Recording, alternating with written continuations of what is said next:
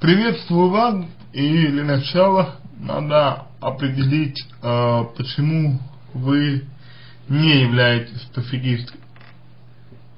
То есть, э, что вас волнует, что беспокоит, из-за чего вы переживаете, э, и что заставляет вас нервничать, что заставляет вас э, переживать. Дело в том,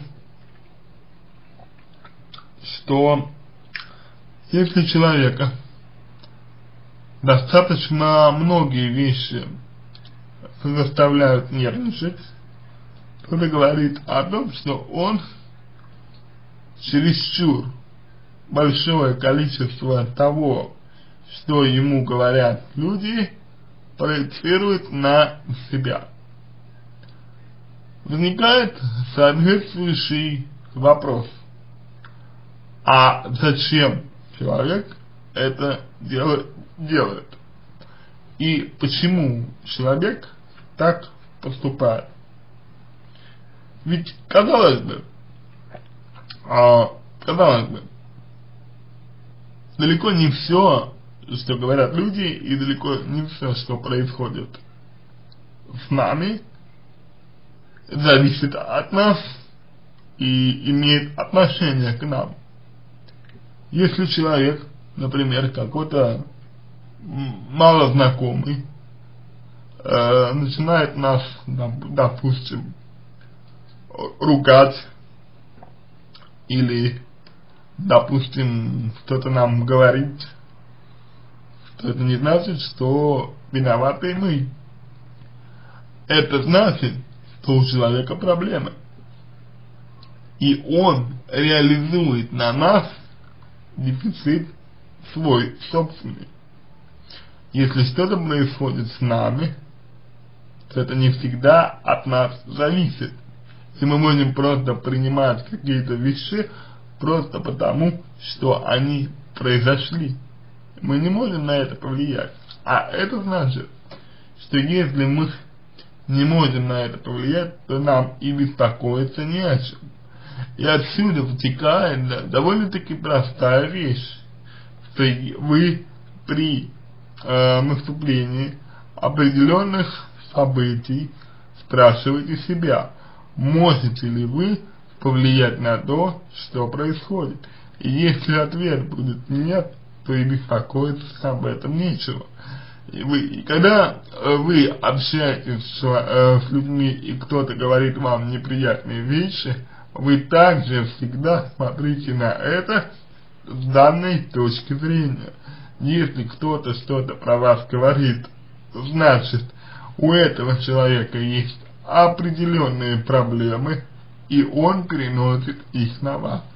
Но то, что говорят вам, стоит э, воспринимать все же э, дуалистически, то есть имеется в виду, стоит видеть зерно истины в том, что вам говорят. Я поясню, что это значит. Зерно истины в том, что вам говорят, означает, что человек вас, например, если он как-то вас обижает или оскорбляет, а значит, что человек вас не принимает. Соответственно, вопрос, а почему, почему, почему человек вас не принимает? И ответ на это достаточно простой. Потому что в лице человека вы столкнулись с общественной культурой. А общественная культура некоторых людей не принимает вообще.